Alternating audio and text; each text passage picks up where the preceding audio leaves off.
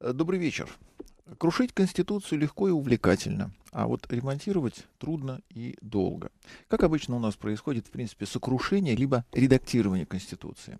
А вы, кстати, знаете, что к 20-летнему юбилею этого основного закона выяснилось, что уже 18 статей отредактированы до состояния полной непечатности. И часть из них касается в том числе и водителей. Четыре статьи вывели водителей в обособленную социальную категорию людей, пораженных в гражданских правах, по крайней мере, в части основного закона. Ну, есть, конечно, еще масса подзаконных актов, лишающих э, людей за рулем своих прав и свобод, но это уже, что называется, послесловие.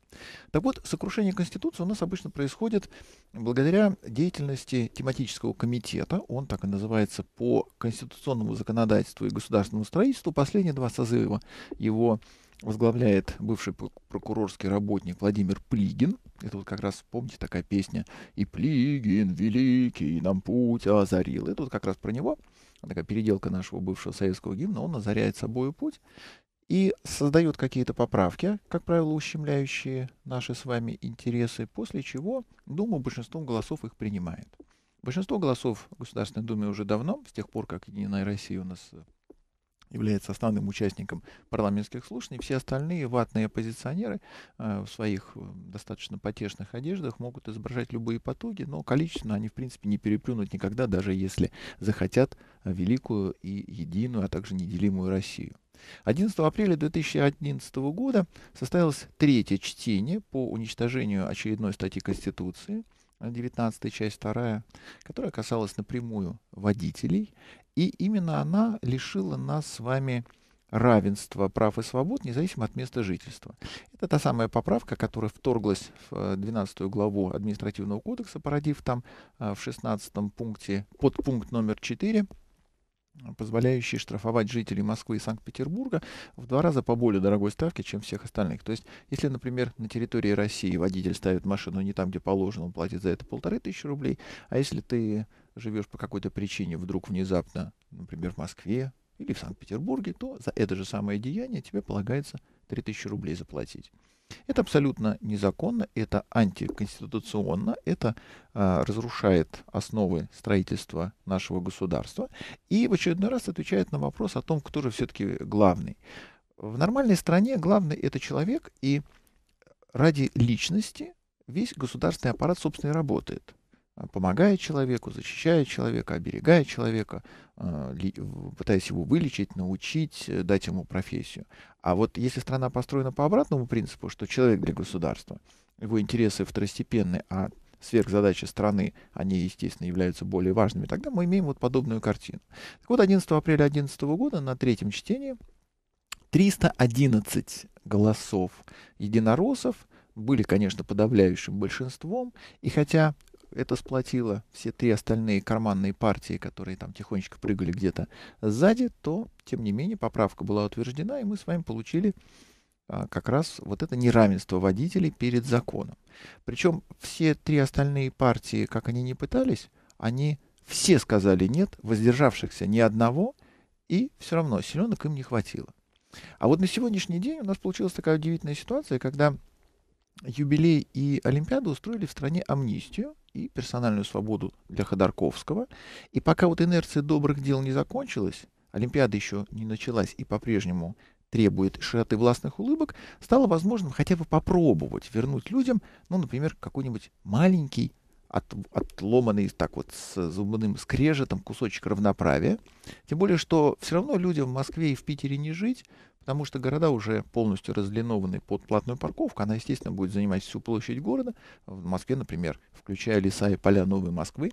Это абсолютно неизбежно. Поэтому здесь поступаться как-то, в общем, всерьез не приходится, хотя сама по себе ситуация очень сильно раздражает людей в парламенте, ведь не зря же отредактировали и Конституцию, и административный кодекс таким образом, чтобы можно было решить главную задачу, ради которой все это создается. Ущемление прав и свобод — это на самом деле а, сопутствующее явление. Просто так получилось. Просто так получилось, что благодаря вот этому неизбежному процессу уничтожения прав личности можно прийти к главной цели. А главная цель это, конечно же, деньги. И в том числе потому, что человек должен быть постоянно в чем-то виноват перед государством, и в том числе потому, что правила игры должны быть не в его пользу. Так или иначе, но он должен.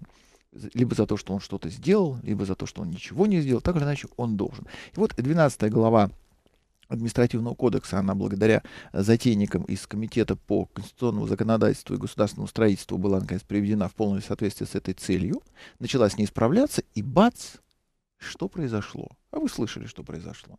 А всю эту неделю, то есть понедельник и вторник, эти два дня, мы с вами слышим о том, что произошел беспрецедентный случай. Потому что группа депутатов, во-первых, они в прошлом году в октябре направили запрос к себе в Государственную Думу и предложили изменить неравенство. Они предложили вернуть 19 статью Конституции, часть 2 водителям. И в Государственной Думе депутатов не поддержали. И тогда депутаты совершили совершенно невероятное. Они создали партизанский отряд численностью в одну роту, 90 человек. И убежав из Государственной Думы на волю, практически в леса, организовав глухое э, антигосударственное подполье, обратились в Конституционный суд и принесли туда челобитную.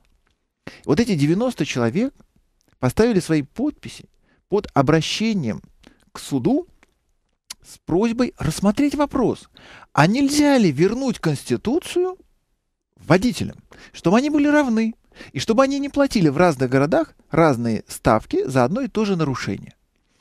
И бедный суд конституционный, конечно же, впал в тяжкую задумчивость, потому что а, все-таки решение в нашей стране принимает не суд, пусть он даже трижды конституционный, а конкретный человек, и последствия желательно предвидеть. Потому что были прецеденты, когда некоторые люди в этой организации, в КС, полагали, что они могут судить по закону и даже по личному убеждению, и для их биографии это заканчивалось, как правило, поиском новой работы.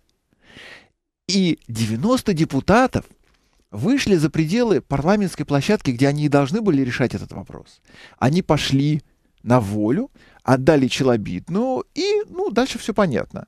А, ваш звонок очень нашей компании, спасибо, мы разберемся.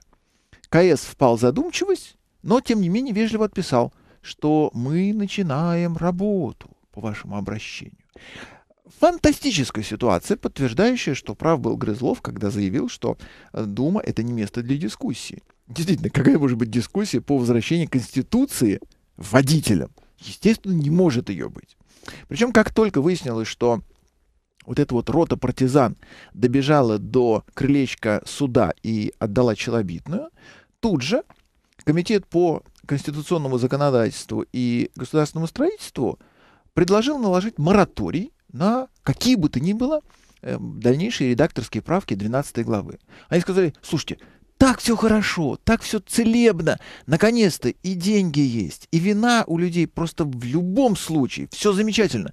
Давайте мы, наконец, уже вот сейчас, пожалуй, остановимся и не будем больше трогать 12 главу. Мораторий именно в, в том смысле, что мы тут нагадили как могли, так вы не смеете нас поправлять. Причем, удивительно, уже не силами парламента, не силами слушаний, не силами внесения поправок и изменений, а силами суда, то есть внешней структуры, которая подправит теперь Государственную Думу. И если КС по какой-то причине, ну вдруг такое произойдет, начнет судить по закону и действительно вернет нам равноправие, то даже Плигин будет вынужден утереться, а Дума вынуждена будет подчиниться. Еще один такой примечательный момент, вот тот самый пятый созыв, который был против, все три парламентские партии, кроме Единой России, были против этого неравноправия, они набрали тогда на голосование 129 голосов. Всего лишь 129 депутатов были против, 311 за. Сейчас осталось только 90 депутатов. То есть уже даже созыв другой. Это уже другие люди. Это уже шестой созыв. Это уже та самая палата номер 6. И тем не менее, они по-прежнему ничего не могут в Думе, только за ее пределами. Перерыв на новости. Ставлю на голосование. Как вы думаете, Конституционный суд укажет Думе, примет отчаянно смелое решение и вернет водителям равноправие, то есть статью 19, часть 2 Конституции. Те, кто считает, что да, это вполне возможно, 5533 русская буква А. Те, кто считает, что у Конституционного суда кишка тонка, коленки жидковатые, хвостик поджатый, не осмелятся они супротив папы, несмотря на Олимпиаду, позволяет себе такие удивительные решения. То есть нет, ничего не произойдет. 5533, русская буква «Б». Ну, посмотрим, к чему это приведет. Ваша точка зрения мне, по крайней мере, интересна. Антагонизм лося и почты продолжается. Движутся оба, но по-разному. Лось полагает, что 5 баллов, Mail.ru полагает, что 7 баллов.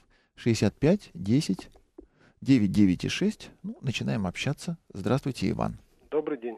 Рад вас слышать, Иван. Да, вот хотел как раз поделиться впечатлением по поводу вашего выступления Государственной Думы там, и депутатов 90. 90 человек. смелых депутатов да. на всю Думу нашлось. Это очень ну, большой я процент. думаю, что у них ничего не получится. Это, так сказать, э, Конституционный суд примет решение такое, какое нужно. Потому что я сужу вот по референдуму, который тут собирались проводить по поводу портковок плавать платных. Да. Вы, наверное, в курсе, что... Конечно. Что студенты там якобы занимались подделкой подписей, там завели уже уголовное дело и набрали там всего, по-моему, около 40 тысяч подписей. То есть до 100 тысяч даже не доходят. Да, тем более, что им было запрещено появляться на людях, они должны были это делать где-то там по курительным да, и по, по, судя, по туалетам. Да, по этой ситуации Конституционный суд, конечно, примет соответствующее решение, что эти депутаты, так сказать, останутся ни с чем. Но сама по себе коллизия удивительная, то, что депутаты отчаялись в Думе быть услышанными и пошли во внешнюю среду. Ну, это во внешнюю среду, это мы каждый день ходим во внешнюю среду, я так вспоминаю, вот при Лужкове такого безобразия с посыпкой соли, как сейчас сыпят ее, даже такого не было. То есть, если даже сыпали, то ее потом убирали. А я уже за этот сезон уже сменил пару ботинок, не говоря уже о машинах. Э, пару машин сменили? Нет, пока еще не успел, вот как раз хотел сменить и с, вами посоветоваться по Но, этому Иван, поводу. Просто к слову, вообще-то да. тот яд, который нам льют под ноги и сыпят, это Лужковский момент. Он у нас достаточно давно. Причем еще при Лужкове было экспертное заключение НАМИ, согласно которому ни в коем случае это делать нельзя не потому, что мы сдохнем. Об этом как раз никто, даже никакой э, лакмусовый Онищенко не позволяли себе говорить правду. А в отношении этого реагента проблема в том, что даже при отрицательных температурах до минус 12 градусов он все равно оставляет дорожное полотно мокрым, и мы едем с вами не только по льду. Мы еще едем не, и по воде. Да, не только мокрым, там даже, я говорю, вот по ступенькам то нельзя спускаться, они скользкие. Да. Такого уже не было. Но при Лужкове хоть э, там он давал каким-то дворникам задание, если, говорит, у вас э, есть этот кайло, так, э, давайте вперед, а и запрещал, по-моему, это так был у него такой, такой период, что он дворникам запрещал сыпать, а, говорит, берите ломик и скалывайте лед. Пару... Сейчас же такого нет, сейчас просто-напросто идет механическая засыпка, и никто ничего не убирает. Ходишь Знаете, по этой грязи. Иван, пару раз, конечно, у Лужкова этот популизм выскакивал. Но да, вот я им говорю, популизм. Но, во всяком случае, вот в нашем районе был намного чище и, так сказать, ботинки не приходилось два раза в году менять. Сейчас вопрос в другом. Дело в том, что действующее лицо, главное, что при Лужкове, что при нынешнем Собянине, угу. это товарищ Бирюков. Это угу. его рабы занимаются подобными вещами. Но если при Лужкове закупка реагентов упиралась в отметку 2 миллиарда рублей, угу. то сейчас 10 миллиардов рублей. А, ну да, то есть в 10 раз можно, в 5 раз можно больше сов сыпать. Поэтому не, все не тогда можно, а понятно. А нужно. Нужно, Это необходимо, да. конечно. Понятно. Хорошо. Сергей, хотел вот спросить, вот э, такой есть автомобиль Opel Astra H, это седан. Да. Если вы знаете, знаете, да? Калининградский. Ну, не знаю, калининградский он или калининградский, у меня была машина питерская. А, вполне, вполне могла быть, то есть это уже... Ну, то, то есть, когда было. они первые пошли, да. потому что сейчас вот я посмотрел ее в салоне, это же, так сказать, ободранные «Жигули», и то лучше собирают, чем эти «Опели Астры», так называемые. Ну, ободранные «Жигули» все-таки чуть похуже, самую малость. Не знаю. Я посмотрел, значит, шумоизоляции никакой. Покраска, ну, желает лучше. Сборка, так сказать, по сравнению даже с той питерской, которая была, у меня, так сказать, она, ну, совершенно не идет ни в какие сравнения. То есть там ни прокладок нету, там, где нужно. Провода торчат и подходят прямо напрямую поворотником. Знаете, Иван, когда вы покупали машину питерской сборки, у нее машинокомплекты да. шли из Германии. Сейчас машинокомплекты польские. Польские? Да. Ну, а вот в свете мы... этого вопрос, значит, вот этот автотор. Он, так сказать, не имеет отношения к Opel, так же как BMW, вот эти машины BMW-шные. Потому что сейчас возьмешь такую машину, и потом будешь бегать так же, как и с BMW. Не скажешь, что эта машина не принадлежит Opel, а, говорит, принадлежит Opel, это, Автотор, и обращайтесь к нему. Знаете, вполне такое может быть, потому что вот только что мне пришло сообщение в почту о том, как люди купили вот именно эту Астру, и выяснилось, что у них борт-компьютер не прописан, и он есть, но он не активирован. И когда они пришли к дилеру, дилер им сказал, что эта услуга платная, и вообще она не входит в предпродажную подготовку. Вот они сейчас как раз бьются, потому что они пошли к другому дилеру, который сказал, денег дай, мы тебе все починим, исправим. И раз такая политика по отношению к автоторовским автомобилям у дилеров стала позволительной, угу. то, соответственно, здесь чувствуется уже некая тенденция. Первым, кто оказался за пределами здравого смысла, это BMW. С БМВшниками, учитывая, что в основном они люди невменяемые, говорить бесполезно, у них машины сделаны какой-то артелью в каком-то автоторе, они понятия не имеют в каком, и вполне возможно, что у GM будет та же самая неприятность, потому ну, что вот они, думаю, жалобы да. пошли уже. Пошли уже, да. Конечно. Ну тогда вот вопрос, что можно рассматривать вместо такой машины, вот Astra H, потому что двигатель там хороший, 140 лошадей, ну коробка там четырех ступенчатая. Ну, сейчас можно, наверное, что-то и посмотреть. Все остальные вокруг уже шагнули, естественно, вперед. Ну, да, да, да. И вы на какую сумму собираетесь? Тысяч на 600 наступить? Ну, до миллиона, скажем так. Слушайте, ну, Иван, за миллион? Особенно сейчас, когда все в судорогах сбывают 13-й год, а некоторые 12-й, а отдельные индивидуумы еще и 11-й, тоже стоит по складам. Вы можете за миллион взять себе машину класса D, вы можете подступиться к кроссоверам, вы можете себе позволить много чего. Не, ну кроссовер это не мой стиль, так сказать. Она, и они валки все, вы центр тяжести высокий. Да Она не, такая, а так сказать, так сказать, чтобы можно было и притопить, и в то же время по городу нормально ездить ну, знаете ли, перетопить. Типа седана какого-нибудь. Не знаю, может быть, Оптима, я не знаю, там, или Шеви какой-нибудь. А Шеви какого-нибудь нету, потому нету. что у Шеви есть только Малибу, угу. который стоит миллион двести, так сказать, для начала разговора. Но, в принципе, вы можете его получить за миллион. Это корейская машина, которая э, в несколько раз хуже, чем Optima, который угу. является просто нормальным корейцем, но сделанным для европейцев. И Малибу, который сделан непонятно для кого, причем настолько неудачная, что они ее уже один раз отреставрировали, второй раз запустили на рынок, а опять продаж нету. Угу. И в этом отношении на Малибу даже не смотрите. Это машина, которая погибла, на, приняв пулю на вдохе. Все, нету такой. Оптима, да, это грандиозный совершенно автомобиль. Его можно брать, причем это не, не какой-то там э, i40, который просто большой Солярис. Либо посмотрите на э, туда, куда вы даже не собирались смотреть. Потому что сейчас до миллиона упали очень многие. И премиальщики, у которых просто агония начинается от того, что, а, ну вот, например, та же самая фирма BMW, mm. она 12 год еще не весь продала. Ну, BMW это... Не, не дай бог вам BMW, да, ну, да. ну что вы. Тем более она может оказаться автоторовской, а после ну, этого у вас будет да, все гораздо конечно, хуже. Конечно. Но вот и того, у вас есть миллион. Вы угу. посмотрели Астру. Астра это вчерашний день, она да, неинтересна, да. она плохая. Вы выходите она... на оперативный простор и смотрите, тем более вы ушли в класс D.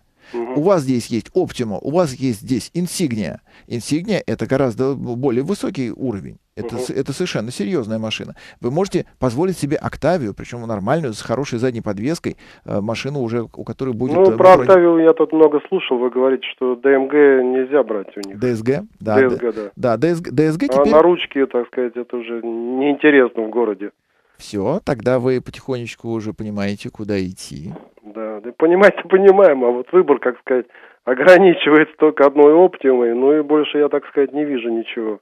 Вы еще можете наступить на грабли настоящего японского качества, там тоже пара капканов стоит специально для вас. Да нет, я не, не любитель японских машин. Ну что вы, они же в бочках качество завозят и прямо выплескивают. Не, ну это, это пускай они завозят, но мы, так сказать, ориентируемся в основном на европейцев, поэтому я на оптиму так тоже смотрю. Так. Вы, кстати, абсолютно правы в этом комплименте, назвав машину европейской, она таковая и есть.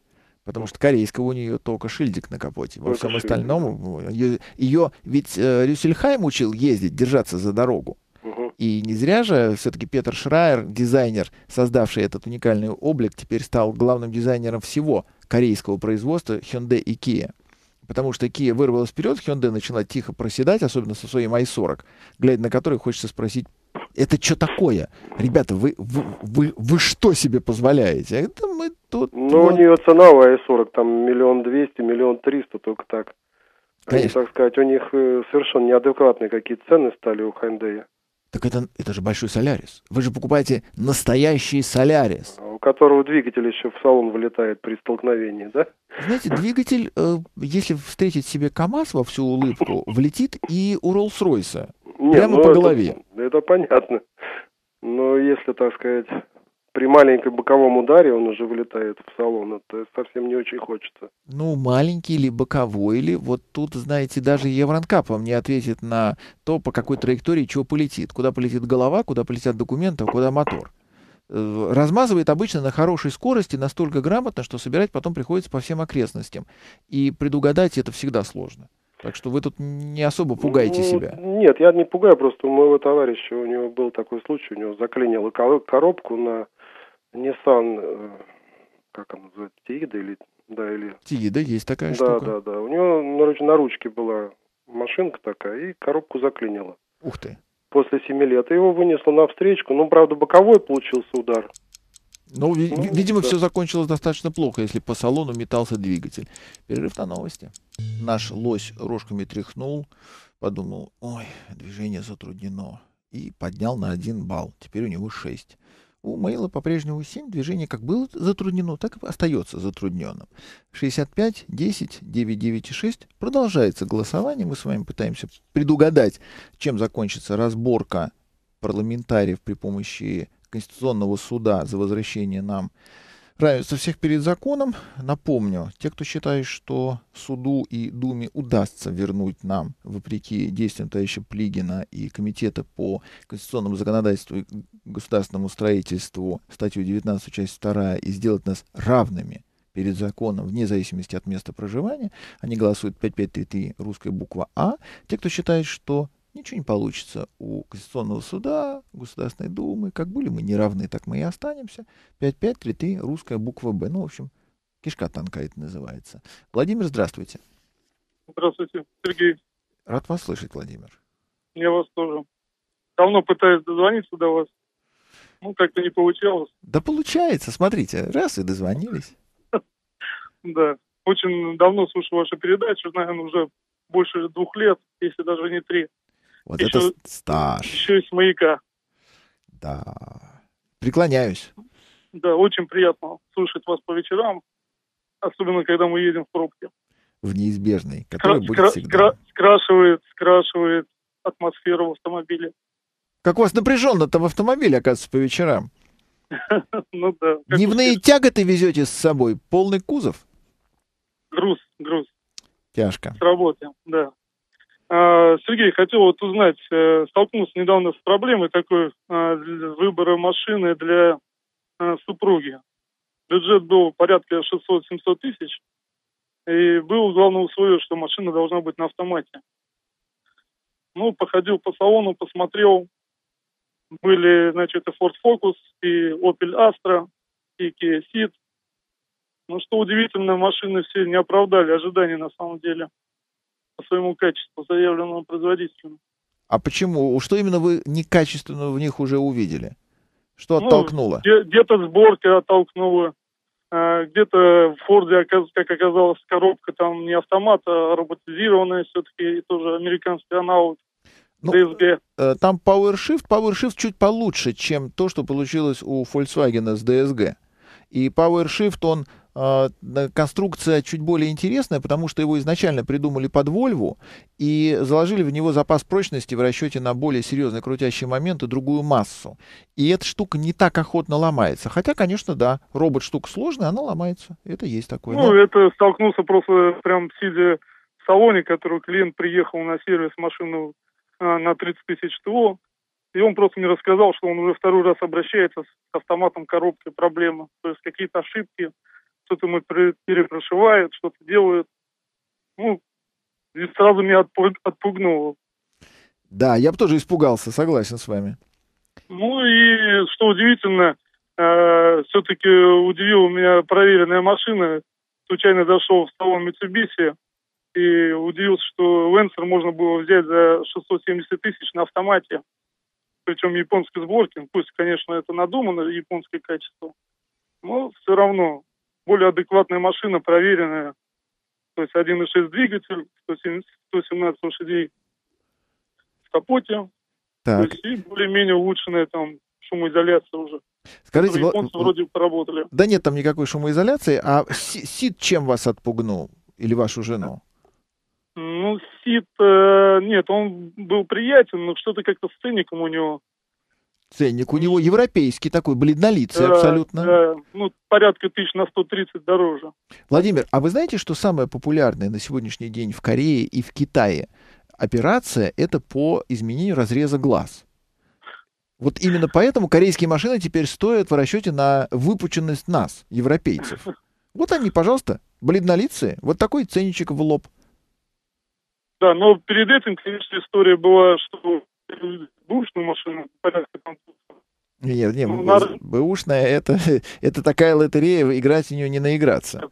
Ну, просмотрев более 20 машин и на трех машинах вызывая эксперта, ну, вы знаете, да, который проверяет и кузов, и двигатель, и коробки, и коробку, включается компьютер, документы.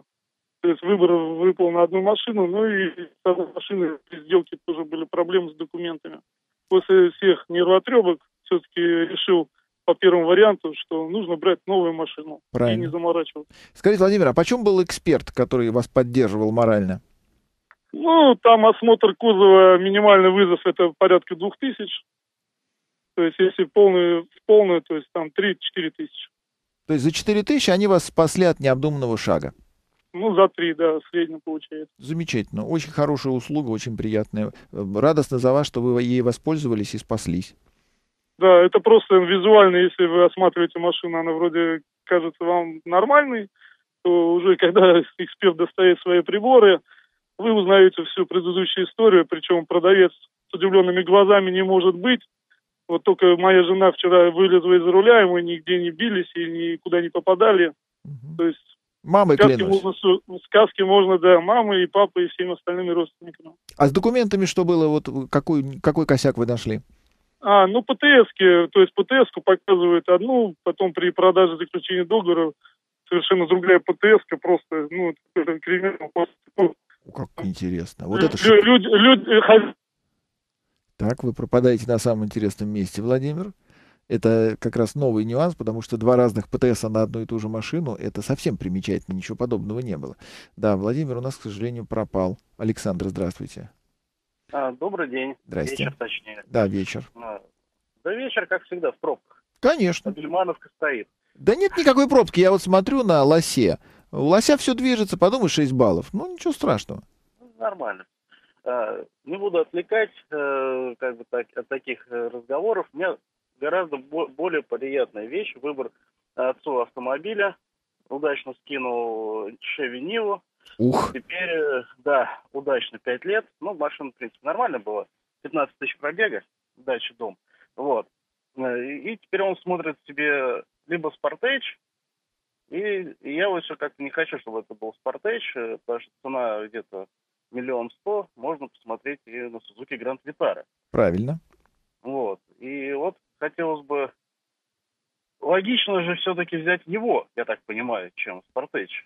Тем более после Шеви Нивы, ближайший родственник, машина идеологически сделанная как раз в том же самом ключе, это именно Гранд Витара. Потому что все-таки раздатка, все-таки понижайка, если что, какая-то бездорожная борьба. А Спортаж, ну что, он просто красивая машина. Да, она замечательная. Если бы вашему папе нужно было бы жениться, она бы подошла идеально. Но Шеви Нива наверняка приучила его к тому, что многое позволено. Гранд Витара поддержит уверенность вашего папы в том, что действительно по-прежнему позволено. Ух ты. А что еще там вот из этого рядом, может быть, я что-то пропустил? А там, там больше никого нет, потому что либо начинаются кроссоверы, то есть вы можете, конечно, пойти в сторону Дастера, у Дастера его вот это... Все. Он посмотрел, 750 тысяч, говорит, ну и смысл, ну, можно добавить и уже взять получше. Да, ну, зависит от того, сколько вы готовы добавлять, потому что можно взять, ведь, например, окончательную универсальную машину под названием Pajero Sport, не, ну там уже ценник полтора, лям 300, полтора, поэтому... Да, но по сусекам... Уже, уже не готовы, уже не готовы. А по сусекам, если поискать э, Рольф... Уже, уже поискали. Так, понятно. Какие скидки самые большие были? Ну, пока вот я по скидкам не лазил, потому что он там сейчас э, поедет. А вот, э, ну, в Рольф, я не знаю, там ну, миллион... Я смотрел на их сайте, там был миллион... Не, не, Александр, погодите. Вот это совершенно неправильно. Скидку дают только в тот момент, когда в ваших глазах они чувствуют блеск желаемой покупки. По сайту бесполезно, потому что сайт, он мертвый. Это то же самое, что вы на кладбище эпитафии ну, читаете. Да. да, А вот когда вы приходите и потряхиваете у них нежно, либо похрустываете не менее нежно, вот тут у них начинается обильное слюноотделение, понимание того, что если он сейчас вырвет из вас этот мешок денег, то ему на 2 копейки заплатят в конце месяца больше бонуса производственного, и начинается битва за вас. И вот тут начинаются скидки. Только Я после понял, надо ездить поискать. Конечно, а, вы должны приторгов... приторговывать своим лицом и вежливой улыбкой, они начинают приторговывать собой и скидками. И это как раз и иногда рождает тот самый побудительный мотив, после которого вы счастливый обладатель. Вот. Я понял, Сергей. И вот последний момент хотел рассказать, передать большое спасибо э, службе ДПС в городе э, Липецке, Липецкой области. Потому что реально э, новогодние праздники, у всех глаза горят, и тут я поехал из Тульской губернии в сторону Липецка, это где-то в районе 250 километров, и меня останавливают ДПСники и говорят, у вас там ремень, туда-сюда, говорят. Я говорю, ну да, согласен, предъявите документы. И тут я понимаю, что я документы забыл. Звучит тревожная музыка. Так звучит не то, что она тревожная, в глазах моих был, наверное, написан полный ужас. Потому что расклад плохой. Очень. Три, три часа предоставления документов я только в одну сторону потрачу больше. А, тем более, что это не регламентированная услуга, это на их изволение. Нигде в законе да. не прописано, что у вас есть три часа сбегать за документами в типографию, чтобы напечатали. Да, да. И из документов только страховка. Хорошо. Машин. Так. Вот. Ну, в общем, я ему это показываю, говорю, ну, так и так, я говорю, забыл. Он спрашивает, откуда, я ему это все рассказываю, у него такие же глаза округляются. Я говорю, ну, вот здесь жена, у нее паспорт, печать. Я говорю, ну, там же нет фотографии. Я говорю, нет фотографии. Он такой говорит, ну, а как быть-то? Я говорю, ну, не знаю, как быть, вот давайте подумаем, как. В итоге он мне дает э, страховку, говорит, езжай отсюда и больше здесь не, не мелькай. Я говорю спасибо, с Новым годом, и я поехал. А молодой был или старый? Молодой, молодой. Ух, Парень молодой. Ух ты, бывает же. Что, неужели все-таки, несмотря на все усилия э, нашего правительства, все-таки в этой стране приличные люди иногда бывают даже в милиции? Бывает, и поэтому, вот, э, честно сказать, я теперь э, э как-то более... Под... Ну, с одной стороны, на кого попадешь, но вот при этом, при таком раскладе, который был, э, ну, там, я думаю, что премия-то его могла бы быть очень существенна. Не надо больше никого было ловить с выхлопом. Да, да. Ну, в принципе, у него был широчайший инструментарий полномочий. Он мог не только э, руки вам выкрутить, он мог еще и высушить вашу тушку на капоте. Но он пошел другим путем. Это удивительно. И я даже не знаю, кто же из учителей у этого человека был, что он объяснил ему, насколько не всегда деньги важны в жизни. Изумительно. Вот поэтому я э, по большому счету из-за этого первого момента я позвонил и хочу передать им большое спасибо, что вошли в положение. Но мы должны большое спасибо передать очень аккуратным шепотом, чтобы нас никто не услышал, потому что на самом деле он был обязан и связан по рукам и ногам этими обязанностями да. и должен был применить к вам всю административную возможность воздействовать на нерадивость, а он оказался человеком. Это да. изумительно. И вот, вот это вот за это им большое спасибо. Так что буду отвлекать, сейчас у вас реклама, и есть слушатели, которые тоже очень хотят вам позвонить. Они Спасибо всегда мечтают большое. о красном кашкае, да. Александр, так э, все-таки Гранд Витара, я так понимаю, на ручке или на я автомате? Я думаю, что да на автомат Гранд Витара. И пусть вашего папу не расстраивает то, что это четырехступенчатый автомат, тем не менее, это достойный агрегат, течет и ломается он не сразу и неохотно, а машина позволяет очень много. Зубастую резину сразу купите и будьте готовы к тому, что почему-то Гранд Витара заднюю резину снашивает в два раза быстрее, чем переднюю.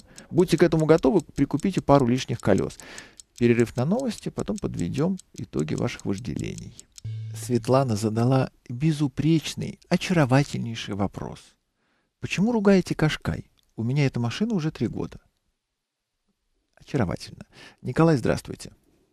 Э, добрый вечер, Сергей. Э, большое спасибо вам за вашу программу. Вот, и хотел задать такой вопрос. Вот, э, что бы вы могли сказать о новом Chevrolet Blazer вот, с дизельным вот мотором? Вы его уже пощупали так аккуратненько? Ну, я в салоне вот э, как там посидел, в принципе, скажем так, в ближайшие года два я его не собираюсь приобретать, потому что все-таки это, то есть первые выпуски э, машины, и надеюсь, все-таки будет какой-то вот рестайлинг в плане э, дизайна салона, потому что, конечно, вот не совсем я, э, то есть понял вот этот вот дизайн их, вот корейский, хотя сам езжу то есть, на корейцах и на Шевроле, в частности, вот, и потом мне никто, опять же, э, невнятно из э, вот дилеров не э, вот мог сказать, э, есть ли в этой машине подогревы сидений, что меня тоже вот смутило, потому что вот на машина тоже такая вот не маленькая, а с нашей зимой и с кожаным салоном, вот который идет на этих машинах, это как бы вот актуально. Николай, а почему вы решили, что она корейская?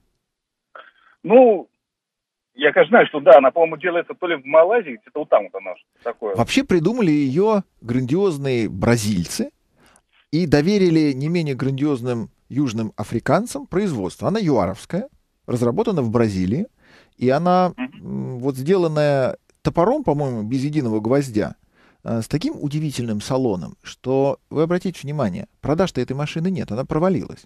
Она просто позорно провалилась, потому что за эти деньги такое брать нико, никто не хочет. И это даже не в женщину, не в Красную армию. А вот эти семь мест, вот эти две табуретки сзади, которые не убираются, лишают вас багажника, не позволяют ничем пользоваться, они в машине, предназначенной для народного хозяйства и доставки боеприпасов на линию фронта. Э, совершенно непонятно, как можно было это придумать. И по салону я с вами согласен. Это, мягко говоря... Я поэтому не... как бы и вот рассчитываю, что будет вот рестайлинг, и все это, там, остальное, все это приведут э, в порядок. Вот сама машина интересует э, с какой-то точки зрения. Все-таки там рама, потом э, довольно-таки честный вот привод. Вот, э, и, в принципе, тоже немаловажная вещь, это, в принципе, вот, то есть марка Chevrolet, которая считается не, не Чем? так, э, считается не угоняемой. То есть машину можно а. там бросить где хочешь. И, кстати, в, вот в плане неубиваемости, у меня вот раньше была Лачети, сейчас Орландо, ну, скажем так, э, ну, сплюнув через левое э, там, плечо, никаких э, там проблем вообще. То есть вот ТО делается, там, все. Да, хотелось бы продолжение банкета. Так вот, Николай, значит, рама и плюс честный полный привод, это значит, вы едете постоянно, гребете двумя задними колесами, сидите высоко, машина имеет высокий центр тяжести, и вам нужны навыки управления грузовиком ЗИЛ-130 в управляемом заносе. Но это было в армии. Да, то есть в таком случае, Николай, вы справитесь с этим утюгом. Его главная прелесть в том, что у него непрошибаемая совершенно подвеска. Если вы начнете скакать по ухабам, по неровностям судьбы, либо просто по откровенному сельскому хозяйству, ничего с ней не произойдет. Она к этому готова. И вообще, в принципе, она ведь пикап просто накрытый кузовом. У нее же есть да, вер... та самая версия Колорадо, которая и должна возить колорадского жука, но уже по другим полям других стран. И на всякий случай они очень грамотно сделали, что накрыли ее кузовом, пошли тем же самым путем, которым Mitsubishi, тем же самым путем, на котором облажался Ford и накрылся медным тазом со своим Эверестом. И получился в результате правильный автомобиль, но они никогда не сделают ему другой салон. Причем этот салон вот отвратительный. Э, в него тыкали носом э, с самого момента презентации автомобиля, когда его только-только заявляли и показывали, сказали, что за эти деньги такое покупать никто не будет. И эта машина рассчитана на кого угодно, а на нас в последнюю очередь. Никто ничего не будет делать. Вы будете ждать рестайлинга, там появится, ну, может быть, вместо какого-нибудь нелепого микро-USB, полноформатный USB, а все остальное останется. И я на этой штуке не ездил, правда, правда, с бензиновым мотором, он, конечно, совсем mm-hmm. дорогой, стреляет он великолепно, мотор очень хороший, он тянет шикарно, коробка у него классная. У меня на машине в комплектацию входила система стабилизации и на ровном месте, на ровном сельскохозяйственном месте.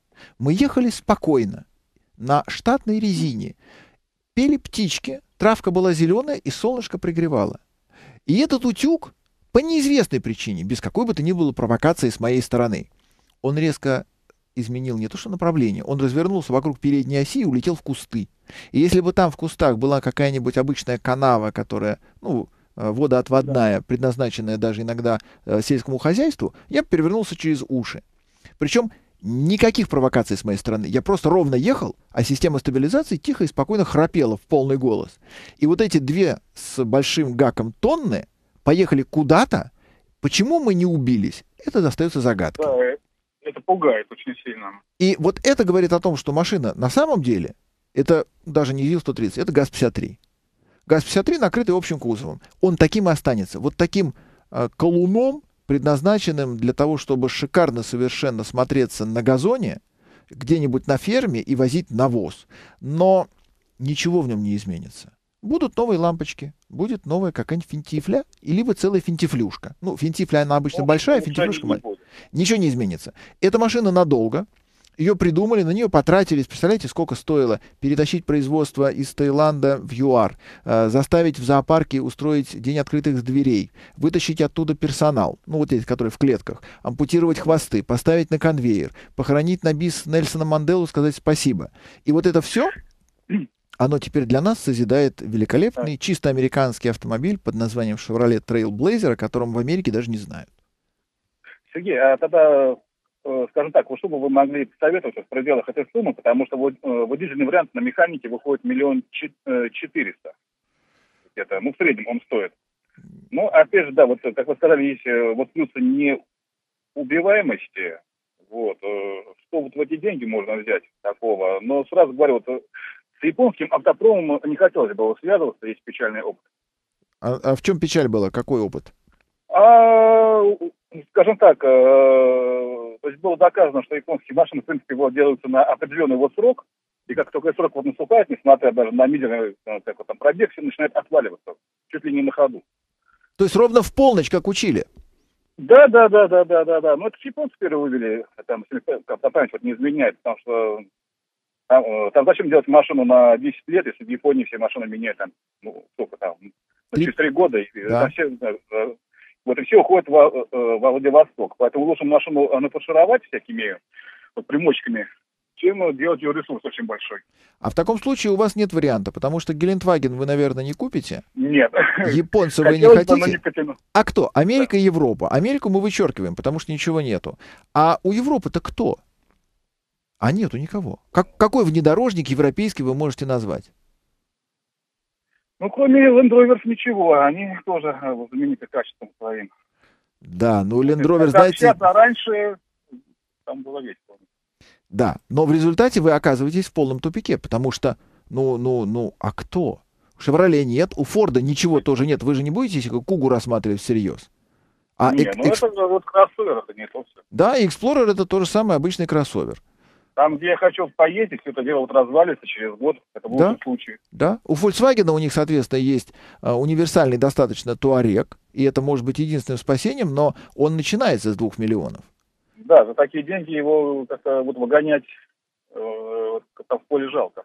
Ну, он может, потому что он может и за такие, и за большие деньги отлично справиться с бездорожьем. Но вариантов никаких нету. У Opel, то есть GM, в принципе, для вас ничего не приготовил. А кто у нас еще остается? Мерседес нет, BMW нет, Audi нет и, и все, занавес. Либо вы ну, уходите... Ну, тогда будем ждать. Может, что-нибудь появится в ближайшее время, а может... Нет, нет, нет, не появится, а тем более из Европы не появится уже хотя бы потому, что Европа, она вся асфальтированная. Вы можете по попытаться купить какую-нибудь экзотику, заглянув, например, к испанцам, у них есть специальная Ивека, переделанная э, из трупа эксгумированного Rover Defender, то есть, грубо говоря, Defender, но с хорошим мотором. И у испанцев там еще есть парочка. У французов есть э, всякие агрегаты очень узкого диапазона применения. Но серийного, серьезного внедорожника из Европы все, больше не будет. Остаются японцы, и остается Америка. Ну, там какой-нибудь, ну, хорошо, Toyota Tundra, там Nissan Patrol, э, Dodge Ram. Это вот они. А Таха? допустим. Ну, Таха не внедорожник. Таха это не внедорожник. Ну, ну да, согласен. Ну, спасибо вам большое за информацию. Не буду больше отвлекать вас. Ай, какая грусть-то на самом деле. Вот, собственно, и все, потому что некуда. Вот куда крестьянину податься? А некуда крестьянину податься. Нету этих машин. Все заасфальтировали. Даже японцы потихонечку уже заканчивают э, свои упражнения. Итоги голосования. Итак, вопрос ставился жизнеутверждающий.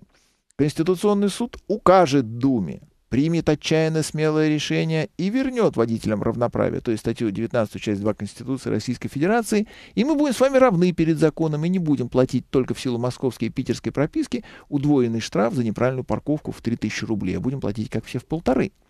Так считает 8% слушателей Финама. 92% считают, что кишка танка у Конституционного суда. Ничего у них не получится. Не будет. Не будет равноправия, не будет изменений в законе, и Государственная Дума опять выиграет в борьбе с населением. Ничего мы с вами не поделаем. А, на самом деле аудитория Финама очень сильно отличается качеством, и еще раз констатирую, что, да, вы знаете, я с вами согласен, ничего не получится. Хотя сам по себе вот этот отчаянный демарш группы 90 депутатов, то есть целая рота смельчаков, партизанский отряд, добежавших за пределы периметра охраняемого до крылечка КС и подавшая челобитную, это очень серьезный шаг. Молодцы. Они, конечно, взялись за одну единственную статью. Всего у нас четыре статьи. У нас и 50-я, и 49-я, и 31-я. Они тоже не касаются водителей. У нас презумпция виновности, она распространяется на водителей. У нас презумпции невиновности нет. И начинать нужно было, конечно же, с этого, с презумпции невиновности. Но презумпция невиновности охраняет главного а, кто поставляет деньги в бюджет. А, главное изобретение — камеры.